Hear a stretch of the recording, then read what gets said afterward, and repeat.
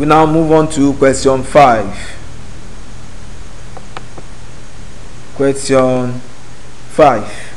Find the seventh term of the sequence 2, 5, 10, 17, 26, and so on and so forth.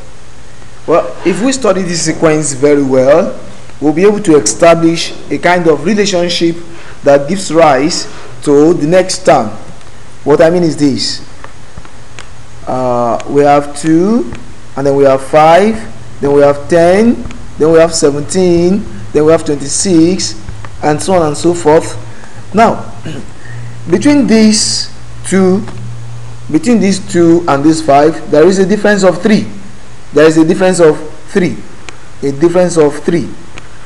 Between these 5 and this 10, there is a difference of 5. Between this 10 and this 17, there is a difference of 7.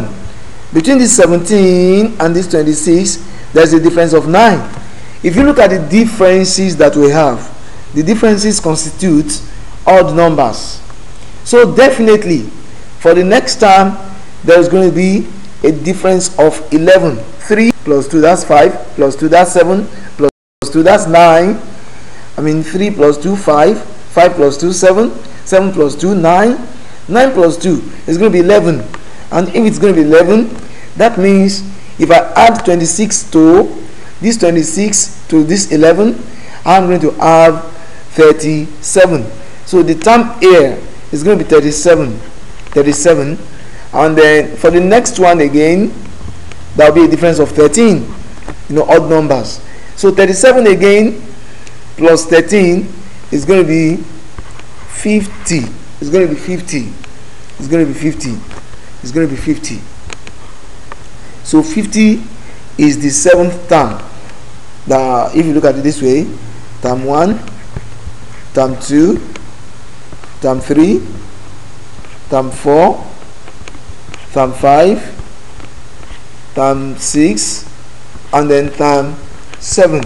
So the fifth term is, and the seventh term is 50. The correct answer is option C.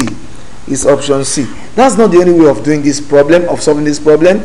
Uh, if you are a good mathematician from experience, if you study 2, 5, 10, 17, and 26, you would see that this conforms to a formula that term n is term n is equal to n square plus 1 n square plus 1 uh, like the first term there is 1 square plus 1 which is 1 plus 1 which is 2 and that is 2 the second term there is equal to 2 square plus 1 that's going to be 4 plus 1 which is 5 the next term there is 3 square plus 1 and that's going to be 9 plus 1 which is equal to 10 the next term is going to be 4 square plus 1 that is 16 plus 1 which is 17